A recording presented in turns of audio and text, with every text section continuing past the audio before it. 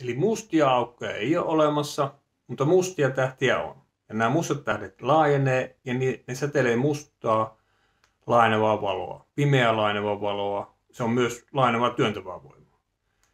Ja nyt sitten kun se mustasta tähdestä, joka laajenee, työntyy sen laajenevan tähden sisälle, laajenevaa työntävää voimaa, niin se saa sen laajenevan tähden aineen räjähtämään laajenemaan voimakkaammin.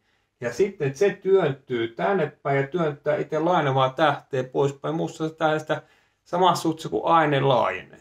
Siis se on spiraalirata, jolla, jolla se työntyy poispäin koko ajan samassa suhteessa se laajenee.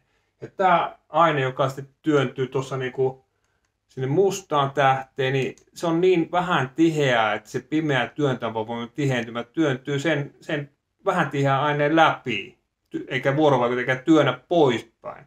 Silloin se musta tähti saavuttaa laajentuessaan tuon laajenevan aineen, eikä tarvita vetävää voimaa ollenkaan. Alright, olipa yksinkertainen juttu. Ja kaikki ilmiöt selittyy ihan täysin ilman sidosvoimia, jotka olisi vetäviä voimia. Ei tarvita, kun atomit nyt laajentuessaan työntää toisen poispäin toistaan samassa suhteessa, laajenee. Ja näin se homma elää siellä pienessä mittakaavassa koko ajan. Avaruus ei laajene. Sydän laajenee synkronissa tums, tums, tums, tums. Muu keho laajenee se sydämen ympärillä tasaisesti.